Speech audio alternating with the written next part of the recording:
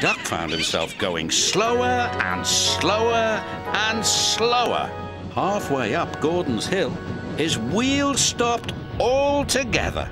Duck was stuck. Oh no, said his driver. This is Gordon's line.